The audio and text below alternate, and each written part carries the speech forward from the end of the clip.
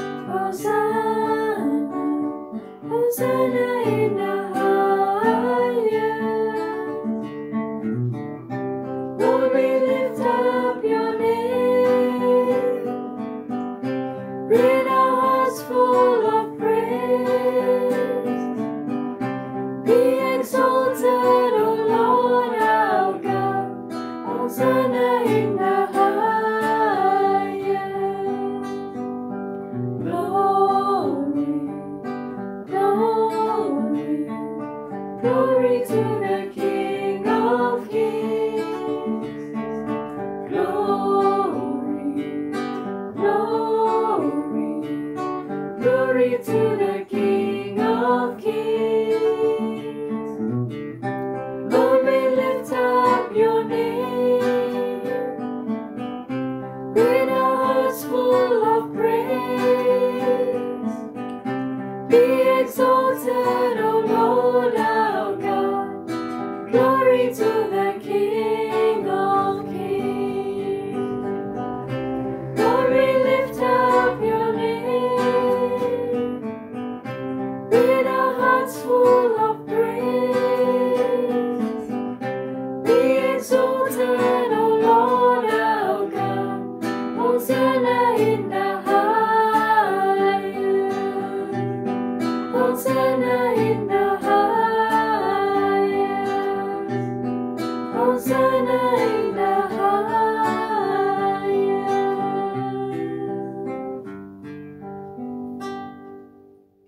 To share with you from Matthew 21, verses 1 to 11, and I've entitled my message, The King Comes to Jerusalem. Matthew 21, 1 to 11. Let me read the text to you. As they approached Jerusalem and came to Bethphage on the Mount of Olives, Jesus sent two disciples, saying to them, Go to the village ahead of you, and at once you will find a donkey tied there with a colt by her. Untie them and bring them to me. If anyone says anything to you, tell him that the Lord needs them, and he will send them right away. This took place to fulfill what was spoken through the prophet. Say to the daughter of Zion, See, your king comes to you, gentle and riding on a donkey, on a colt, the foal of a donkey. The disciples went and did as Jesus had instructed them. They brought the donkey and the colt, placed their cloaks on them, and Jesus sat on them. A very large crowd spread their cloaks on the road, while others cut branches from the trees and spread them on the road. The crowds that went ahead of him and those that followed shouted, Hosanna to the Son of David!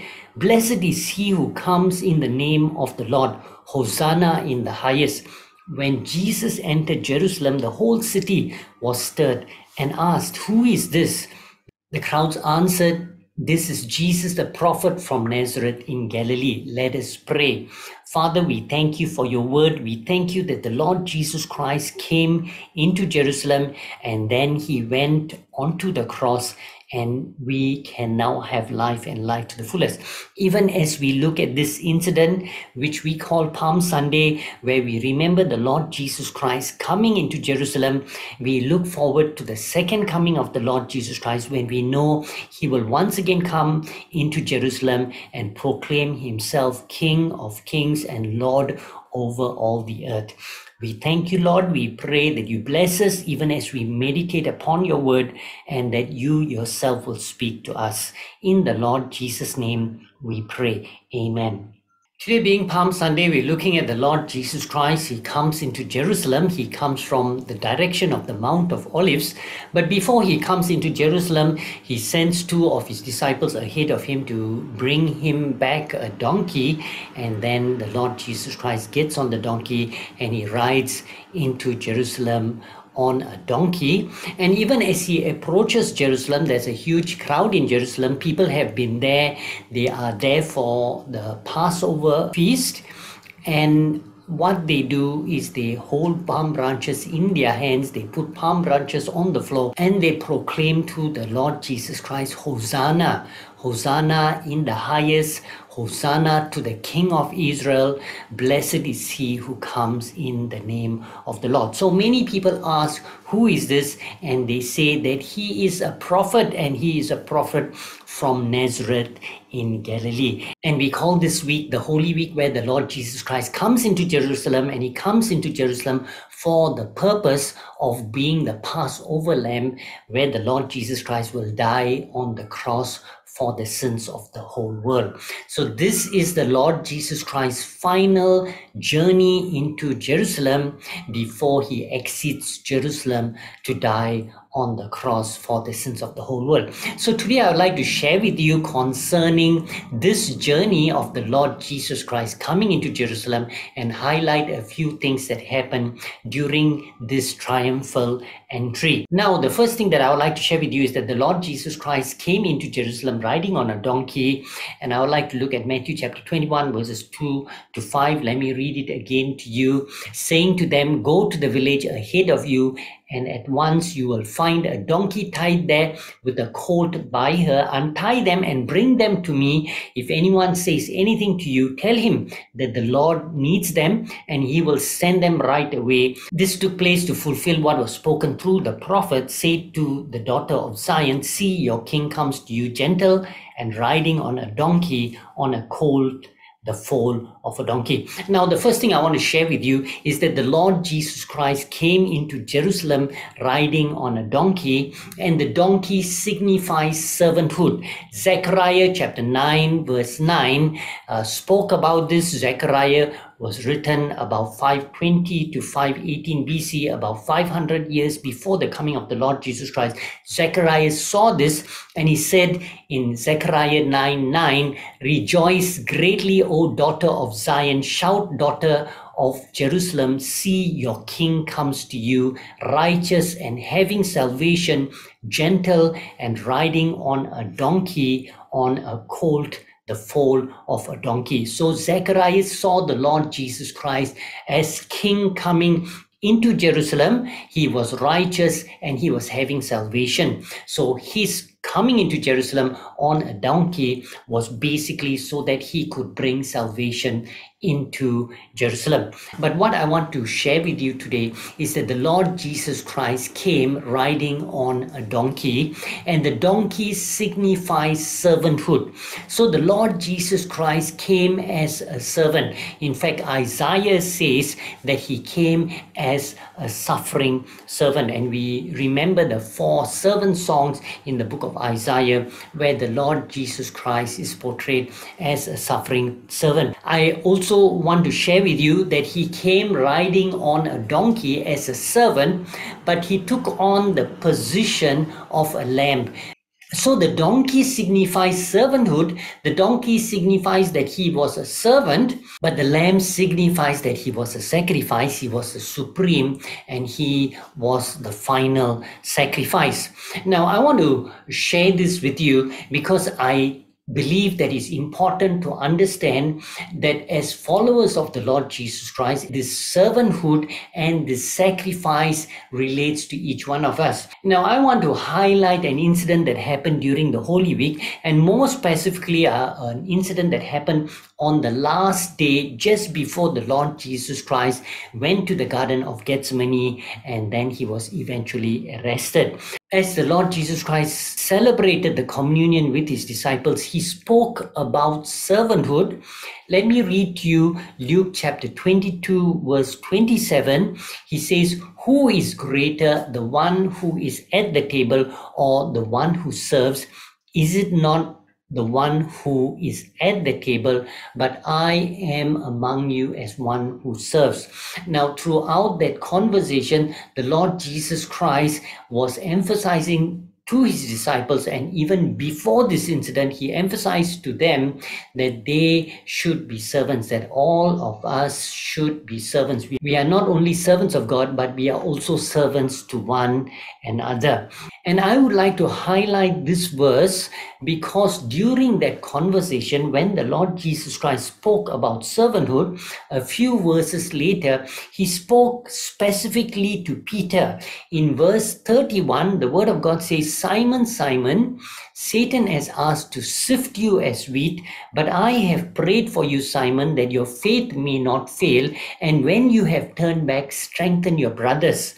Verse 33 But he replied, Lord, I am ready to go with you to prison and to death. Verse 34 Jesus answered, I, t- I tell you, Peter, before the rooster crows today, you will deny three times that you know me. And the Lord Jesus Christ was speaking about Peter's denial. But what I would like you to capture is simply this the Lord Jesus Christ spoke about servanthood and then he moved on to speak about sacrifice.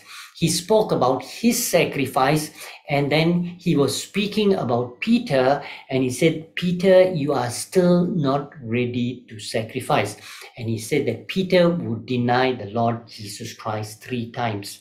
Now let us fast forward to about two weeks later when the Lord Jesus Christ meets the disciples on the shore of Galilee. In Matthew 21, verse 18, where the Lord Jesus Christ asked Peter if Peter loved the Lord Jesus Christ. The Lord Jesus Christ was reaffirming Peter of his love. And John 21, verse 18, the word of God says, I tell you the truth, when you were younger, you dressed yourself and went where you wanted, but when you are old, you will stretch out your hands, and someone else will dress you and lead you where you do not want to go. Jesus said this to indicate the kind of death by which Peter would glorify God. Then he said to him, Follow me. Now, what I want you to capture is simply this. The Lord Jesus Christ came as a servant. He taught us that we need to be servants, but that servanthood needs to be accompanied with sacrifice. And that sacrifice needs to grow into a position of total sacrifice. In Matthew 16 24, the Lord Jesus Christ said to his disciples, If anyone would come after me, he must deny himself, take up his cross, and follow me. So I would like to highlight this. The Lord Jesus Christ came on a donkey, which symbolizes servanthood. We need to take on that position of servanthood in our lives. We need to be like the Lord Jesus Christ to reflect servanthood in every area of our lives. But servanthood must always result in sacrifice.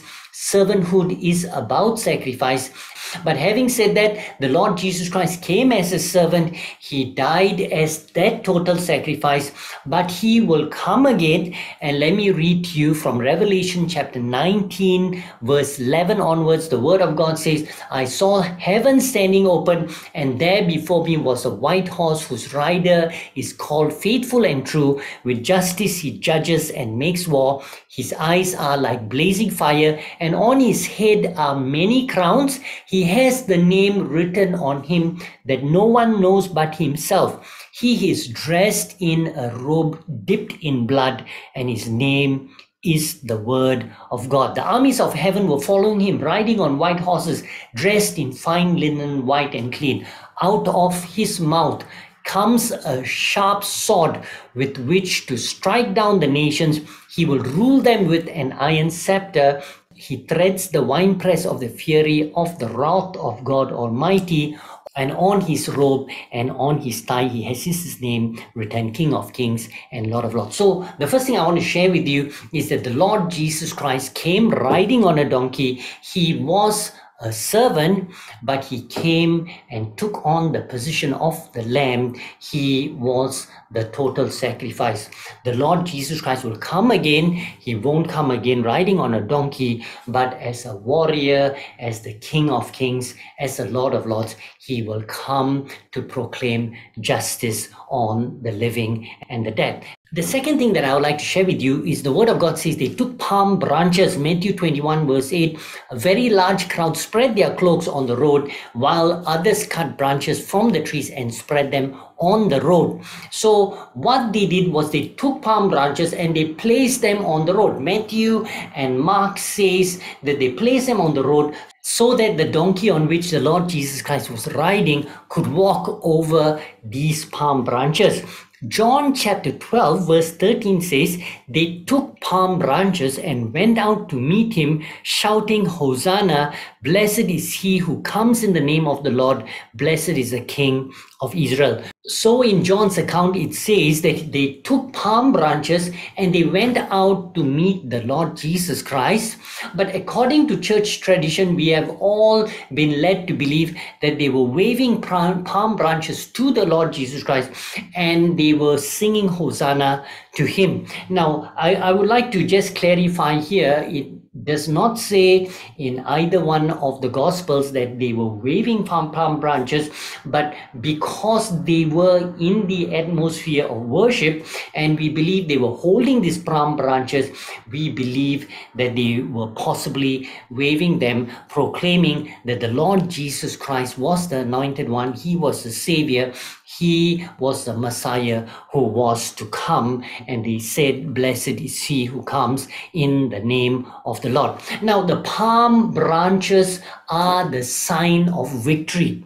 So, when they were waving the palm branches, they were proclaiming victory to the Lord Jesus Christ. They were proclaiming that He is the victor, He is the man who would bring victory to the nation. Now, I want to highlight this.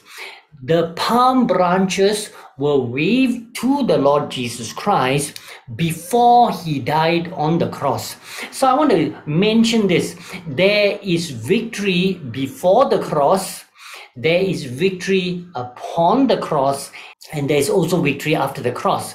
And we know that that victory happened on the day of resurrection. But I believe what we must capture is the whole idea of victory is related to the Lord Jesus Christ, meaning it was before the cross, it was at the cross, and it was after the cross.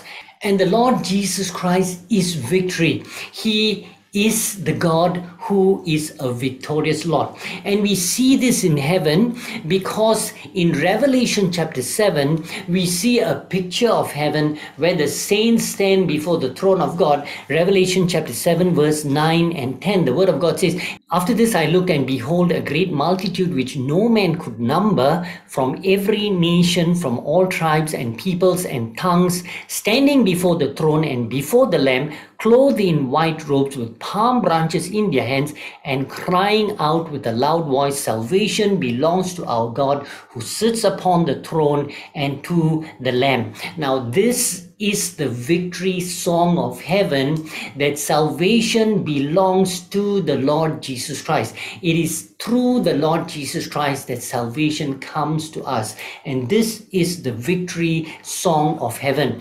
I want to highlight this because in the Lord Jesus Christ, there is no other position than the position of victory. In God, there is no defeat. And we must believe that because this involves our lives, that in every situation, no matter whether we can understand it or not, no matter what troubles we go through, we must understand that because we are in the Lord Jesus Christ, we are always in the position of victory. The Lord Jesus Christ, who lives within us, cannot be defeated. And because He is victory Himself, our position is always a position of victory. Now, the third thing that I would like to share with you is that they proclaimed Hosanna, Matthew 21, verse 9. The crowd that went ahead of him and those that followed shouted, Hosanna to the Son of David. Blessed is he who comes in the name of the Lord. Hosanna in the highest. Mark 11, 9 and 10 says, Those who went ahead and those who followed shouted, Hosanna, blessed is he who comes in the name of the Lord. Blessed is the coming kingdom of our Father David. Hosanna in the highest. Now, the, the word Hosanna is taken from the Hebrew and it comes from two different words. And the words basically mean to be safe or to be a deliverer, one who saves, one who preserves, one who rescues, or one who brings salvation. And it's connected to a word that is a plea, a request. I pray to you. So put together, Hosanna simply means, I pray you come and save me now. So Hosanna basically is a prayer to God, asking God to save. Because if we look at Jerusalem during that time, we see there was political turmoil. On the one side, there was this Roman Empire, the Roman soldiers and Caesar. And on the other side, there was King Herod, who took on the position of a king, being appointed by the Roman emperor when in reality he's not a genuine descendant of the Israelites, and yet because of his political skills, he becomes a great king, later known to be Herod the Great. And later we see his sons rule different parts of the kingdom. And then on the other hand, there was a whole religious authority who were trying to govern the people, who were imposing all kinds of laws and making the people struggle. So the people were in a situation of a political turmoil. Economically, they were suffering and people were struggling and they were praying to God for deliverance. They wanted someone who could deliver them from their situation of hardship. So the people were crying out, God save us, but they were also looking into Old Testament scripture where God had promised them a Messiah. And when they looked at the Lord Jesus Christ, they said that this is the Son of David, this is the Messiah, this is the anointed one, and he is here to save us. So that is a context that surrounds this huge worship where people in their crowds surrounded the Lord Jesus Christ, waving palm branches. They proclaimed, Hosanna in the highest, Hosanna to the Son of David, Hosanna, come save us now, because they believed that he was the anointed one, he was the Messiah, he was the Savior that was going to deliver them. But they also said, Blessed is he who comes in the name of the Lord. And this is a quotation from the prayer in Psalm 118, verses 25 and 26. O Lord, save us. O Lord, grant us success. Blessed is he who comes in the name of the Lord. From the house of the Lord, we bless you. So the psalm was a prayer saying that it's the Lord who would come and deliver them. And it's a proclamation saying, Blessed is he who comes in the name of the Lord. But I would like to highlight this expression, blessed is he who comes in the name of the Lord, because in Matthew 23, verses 39, the Lord Jesus Christ, after coming into Jerusalem and after the whole incident where he was worshipped and proclaimed as the Messiah who would come to save the people, said this for I tell you, you will not see me again until you say, Blessed is he who comes in the name of the Lord. In Hebrew, it's Baruch haba Beshem Adonai. So the Lord Jesus Christ says, Until the children of Israel proclaim Baruch haba Beshem Adonai, they will not see the Messiah again. They will not see the Lord Jesus Christ again because until the people of God in Jerusalem call upon the name of the Lord Jesus Christ, he will not return. Now, I want to go back to the Old Testament in the book of Ezekiel, who speaks about the second coming of the Lord Jesus Christ. Ezekiel chapter 43, verses 1 to 5. Then the man brought me to the gate facing east, and I saw the glory of the God of Israel coming from the east. His voice was like the roar of rushing waters, and the land was radiant with his glory. The vision I saw was like the vision I had seen when he came to destroy the city, and like the visions I had seen by the Chebar River, and I fell face down. The glory of the Lord entered the temple through the gate facing east. Then the Spirit lifted me up and brought me into the inner court, and the glory of the Lord filled the temple. Now, I want to share something very important here because just as the Lord Jesus Christ came into Jerusalem, he came into Jerusalem by way of the Mount of Olives, he came through the east gate into the city the word of God says in Ezekiel that that's how he would come in glory. And we know that the word of God tells us in Acts chapter 1 from verse 9 about the return of the Lord Jesus Christ. Let me read to you from verse 9. After he said this, he was taken up before their very eyes, and a cloud hid him from their sight. They looked intently up into the sky as he was going, when suddenly two men dressed in white stood beside them. Men of Galilee, they said, Why do you stand here looking into the sky?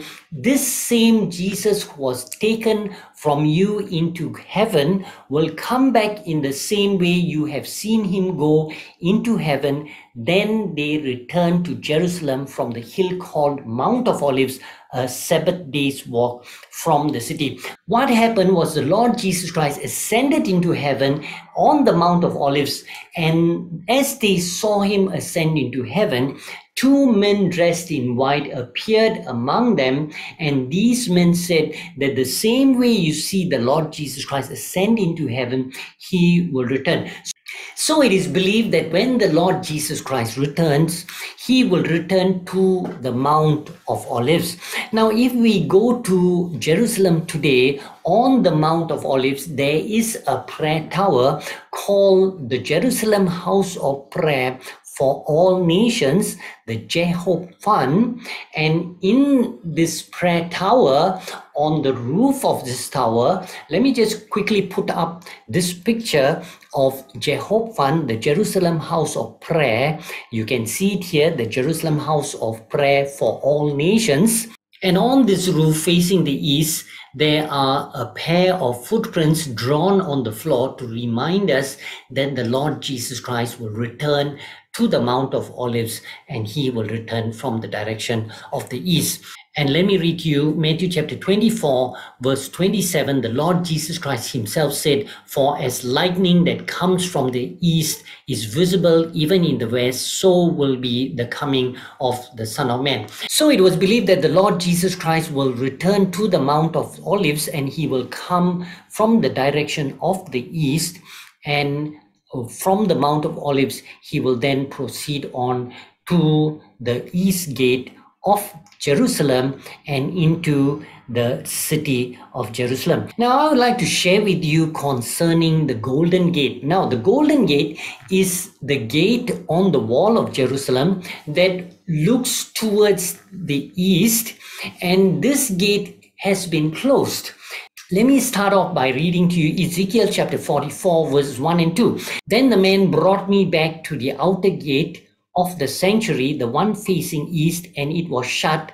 The Lord said to me, This gate is to remain shut. It must not be open. No one may enter through it. It is to remain shut because the Lord, the God of Israel, has entered through it. Now, let me tell you a little bit more about this gate. Now, this gate was closed by the Muslims in 810, and then it was reopened in the year 1102, 1102 by the Crusaders. So when the Crusaders came back and invaded Jerusalem, they opened the gate and then again it was walled up by Saladin after regaining Jerusalem in 1187, 1187.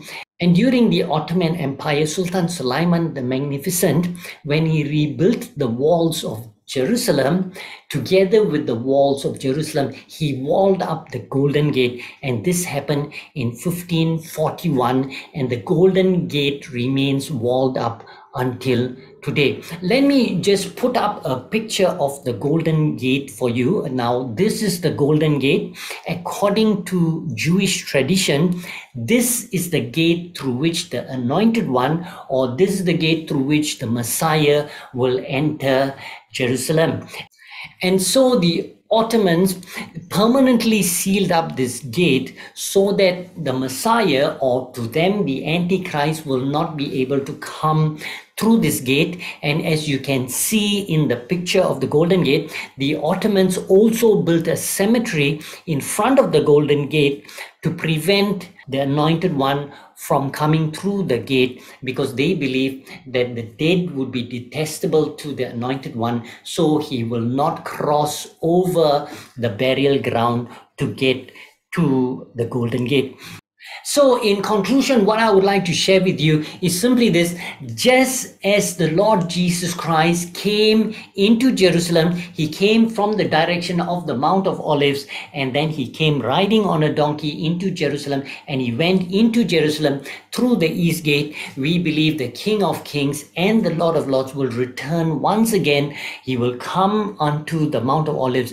and then he will go into the city of Jerusalem through that east gate once again, and then he will proclaim himself Lord over the city of Jerusalem and over the whole world. Now, the question that we need to ask is so, what do we do? What has that got to do with us? The first thing I want to share with you is we must believe, we must have faith, and we must know that the Lord Jesus Christ will return. The Lord Jesus Christ will return to Jerusalem where he will come back and proclaim himself as King over Jerusalem, that he will proclaim himself king over the whole world. The second thing that I would like to share with you is that we need to pray. We need to pray for ourselves. We need to pray for the whole world, but we also need to pray for the Jews so that they will accept the Lord Jesus Christ. The Lord Jesus Christ himself said, until they say, Baruch haba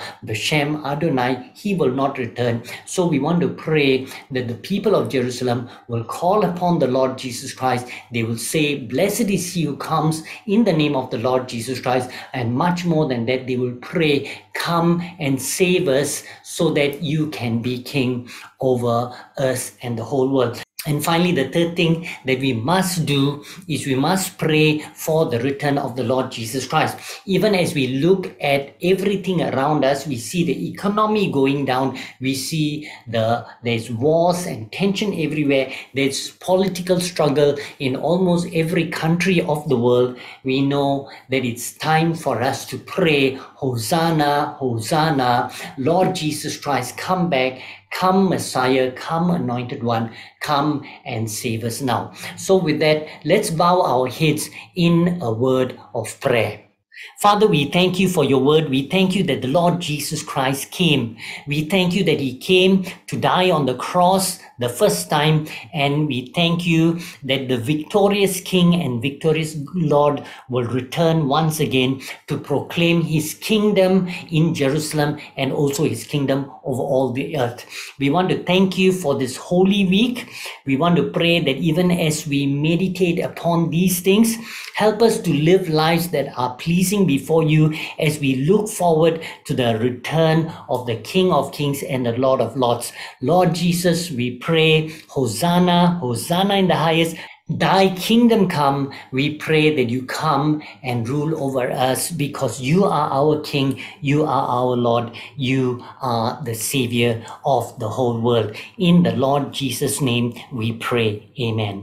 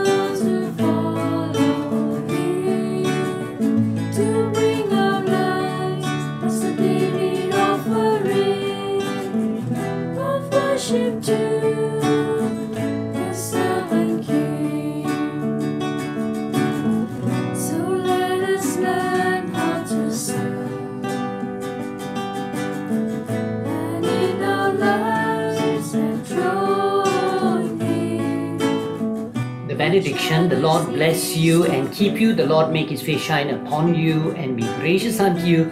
The Lord lift his countenance upon you and give you peace. And the blessings of God, the Father, the Son, and the Holy Spirit be with you and remain with you now and. Amen. Thank you for joining us once again at our Golden Lampstand online service. We pray that in the coming week you would spend some time meditating upon the cross of the Lord Jesus Christ. And in your meditations, we pray that the Lord would reveal himself to you. God bless you. Have a wonderful week.